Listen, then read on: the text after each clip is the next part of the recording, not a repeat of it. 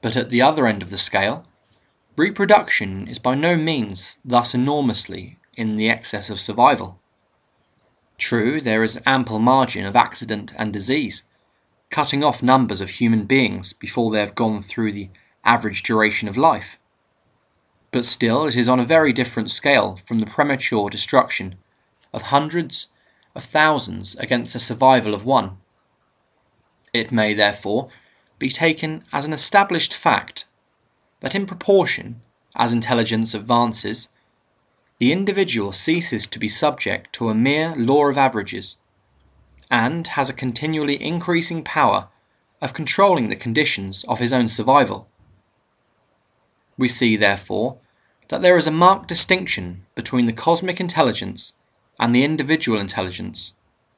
and that the factor which differentiates the latter from the former is the presence of the individual volition. Now, the business of mental science is to ascertain the relation of this individual power of volition to the great cosmic law which provides for the maintenance and advancement of race. And the point to be carefully noted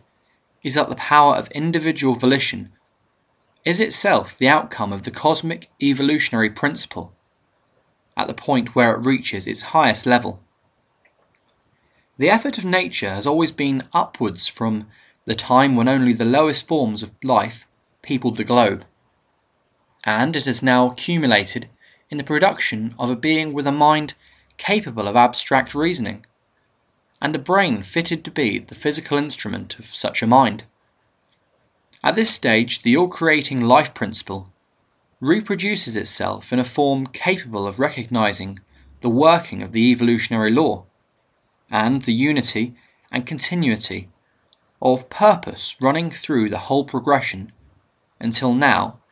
indicates beyond a doubt that the place of such a being in the universal scheme must be to introduce the operation of that factor which, up until this point, has been conspicuous by its absence.